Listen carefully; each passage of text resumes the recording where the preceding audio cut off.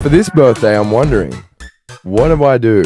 Fill us with ideas on what Yeah. to do for Addie's birthday. Scuba diving with a raincoat on, riding around on unicycles with top hats. Keep it coming. Keep it Okay, coming. doing a mime class while after taking a bunch of ecstasy. Let's Horse take- carriage ride around the s- around the harbour with trumpets. We have to play trumpets the whole time.